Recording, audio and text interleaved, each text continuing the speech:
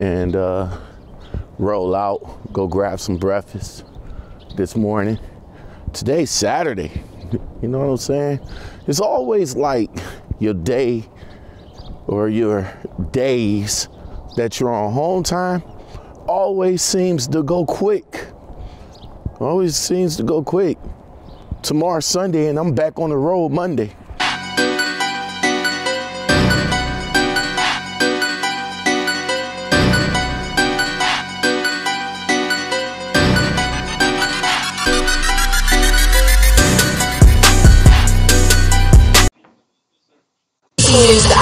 Out of the River Valley tonight. We're told the Dale Bend Bridge has collapsed and an 18-wheeler that had been driving over it fell into the Petit Jean River. Yell County Sheriff Bill Gilkey telling KARK it happened around 8 p.m. in Ola. Incredibly, the driver was able to escape unharmed. The sheriff tells us the driver was following GPS instructions and that this bridge is not fit for a truck that size.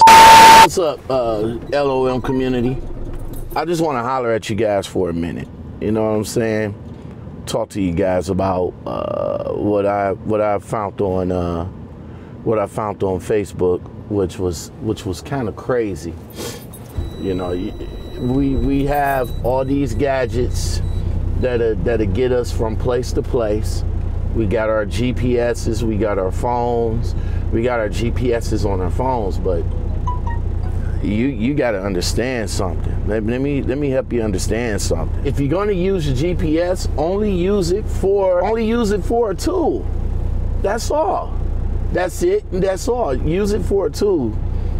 GPS is, is not 100%. You know what I'm saying? Especially don't use the one that's on your phone.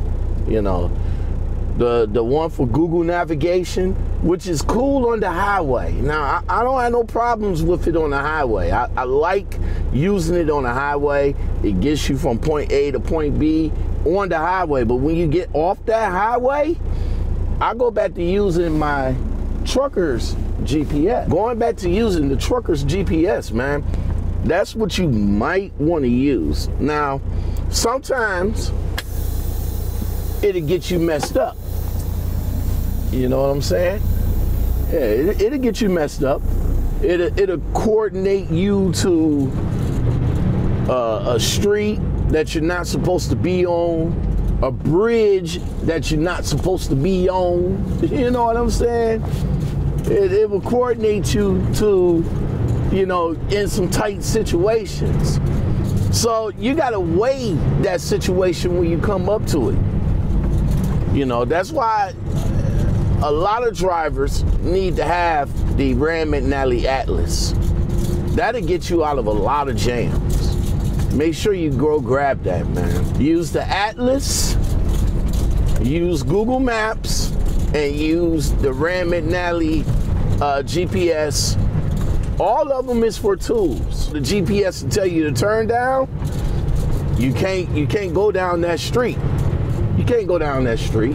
Here's a story that I found on Facebook that I found that was interesting that gets too many truck drivers way in trouble. And I'm, I'm sure this truck driver right here, I can pretty much guarantee that he might be looking for he might be looking for another job right about now. Trucker follows GPS onto wooden bridge, causing it to collapse in the river. And this is from CDL for life or CDL Life. Truck driver is lucky to have escaped unharmed after he followed his GPS into a small Arkansas bridge and wound up in the river. The incident happened around 8 p.m. on Wednesday, January 30th, in the Yell County town of Ola, according to the TV reports. Director of the Yell County Office Emergency Management, Bill, says the unnamed semi truck driver was hauling a load of processed chicken to Danville when his GPS device led him to Dale Bend Bridge. Yeah, that's that that's not a good sight. Though there were signs posted everywhere, entrance warning the driver about the six-ton weight limit, Geske said the driver attempted to cross the bridge anyway. The weight of the semi collapsed the 88-year-old bridge structure and left the semi partially submerged in the Petit Jean River. Not a good look. Not a good look. Unfortunately, the truck driver was able to get out the truck and wasn't hurt. The old the Ola Fire Department says that the bridge is closed indefinitely. Crews will be working Thursday on trying to remove the truck from the river.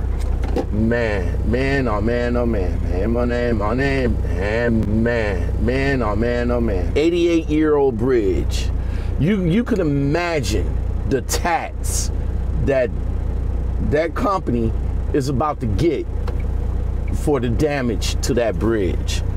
And the and the bridge is closed indefinitely too? Indefinitely?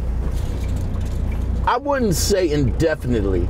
Uh, it's going to be closed for quite a while until they actually come together and start rebuilding that bridge. But as far as the driver goes, his neglect to see the signs that was posted, they said it was posted, so it wasn't like, you know, the driver didn't, it, there wasn't no signs and the driver didn't see it.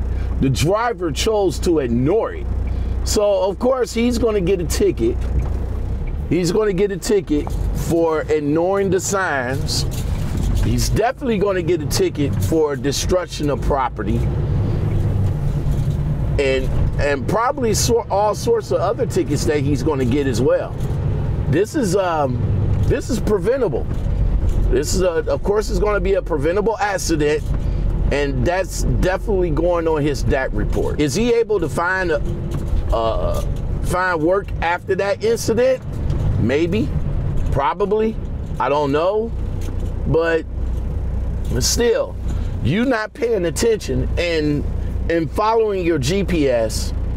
No telling what time of the day or night you should have seen, or common sense should have told you that that bridge was unstable for your truck. It happens a lot around the world you get these new jack drivers that follow their GPSs to the end of the world.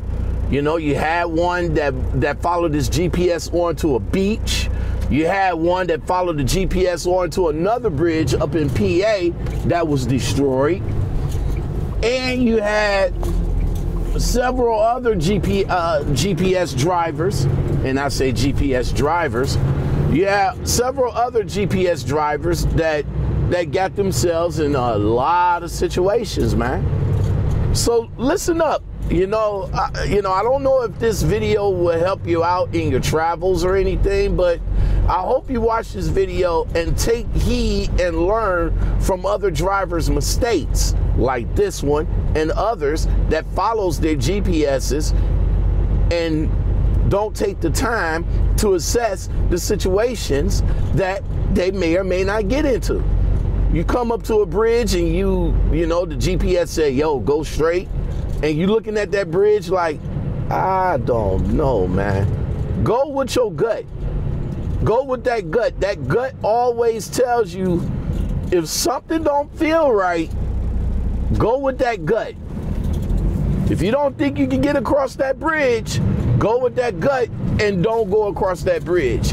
What you want to do in situations, call the authorities so they can help you out of that situation. Now, you may get a ticket, you may not get a ticket, I don't know, but at least they're going to help you out of that situation and you won't get effed up. All right, man. Well, I'm, I'm, glad you guys stayed long. This is only a small chit chat, you know, truck talk and chill with you. You know what I'm saying? Oh, stop. Oh, stop. They finally got this. They they finally got it. They finally got this gas station on the corner. Oh, that looked like an arson deal right there. That looked like an arson deal. Anyway, sorry about that. It's this gas station on the corner that always have that always have drug and violence and activity problems up here, and they finally they finally came up here and shut that bad boy down. Thanks for watching. Don't forget to like, share, subscribe, comment, and hit that bell on the way out the door. This is Lockout Man for you guys, and I will come back at you in another Truck Talking Chill video, man. You guys take it easy. I'll holler at y'all later. Peace.